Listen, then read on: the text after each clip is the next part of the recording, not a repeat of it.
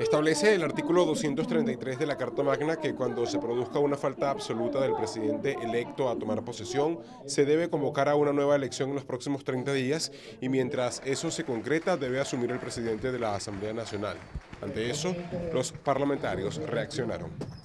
Pero yo sí soy de los que pienso que nosotros aquí en la Asamblea perfectamente podemos actuar en función de llenar el vacío institucional en virtud que estamos en presencia de un gobierno de facto.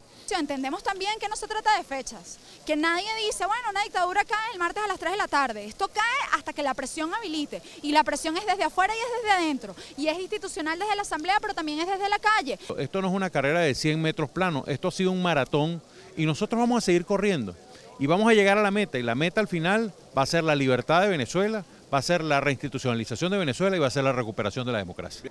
No hay manera de que nosotros podamos restituir el orden constitucional sin el apoyo de la Fuerza Armada. Una Fuerza Armada a la que no le pedimos que dé un golpe de Estado, porque de cachuchas militares ya estamos hartos después de 20 años. Una Fuerza Armada a la que le estamos pidiendo que se ponga al frente de las circunstancias, dejando de cumplir órdenes eh, que sean inconstitucionales y que además cumpla de manera estricta con el artículo 328 de nuestra Carta Fundamental.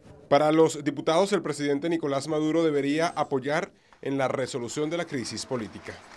Si Maduro tuviera un poco de conciencia, él mismo debería estar pensando en resolver, en contribuir con su propia actitud a que se resolviera la crisis venezolana y la, la solución de la crisis venezolana pasa por escoger en un proceso electoral limpio, pulcro y democrático a un presidente para todos los venezolanos.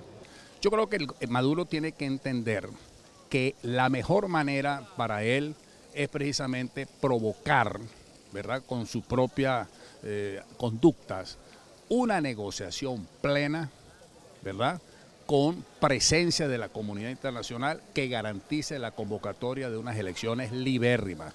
¿Qué se debería negociar allí? Porque el gobierno tampoco quiere ceder. Bueno, el gobierno yo creo que tiene que ceder. Tiene que ceder porque está solo, a menos que utilice la bayoneta, ¿no? Eh, pero no es un gobierno que pueda, vamos a decirte, desarrollar una política económica. No va a tener créditos, no va a tener apoyo internacional. La Asamblea Nacional es fundamental para aprobar y legitimar cualquier crédito.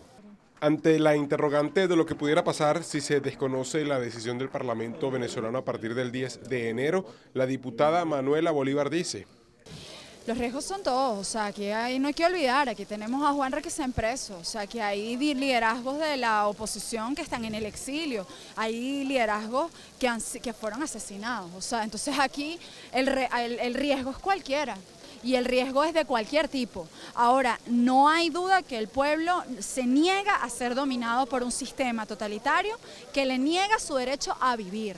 La fracción 16 de julio aclara que votó por la presidencia, pero no por la primera y segunda vicepresidencia de la Asamblea Nacional. Nuestro voto por el presidente de la Asamblea Nacional no es un cheque en blanco. Solo lo apoyaremos y acompañaremos sí y solo si asume las tareas y responsabilidades urgentes y necesarias. Al Palacio Federal Legislativo llegaron los representantes del cuerpo diplomático acreditado en Venezuela, entre ellos James Story, encargado de negocios de la Embajada de Estados Unidos. Bien, usted. Eh, la posición de la Embajada de Estados Unidos el día de hoy ante pues esta hoy, la noticia, hoy la noticia son la Asamblea Nacional y no, no nosotros. Es un honor estar aquí y ser invitado con ellos. Gracias. Muchos hablan de sesión permanente a partir de este 5 de enero para hacerle frente a la juramentación de Nicolás Maduro como presidente de la República, que según Diosdado Cabello será frente al Tribunal Supremo de Justicia y no ante el Parlamento. En Caracas, Venezuela, Maiker Iriarte Oliveros.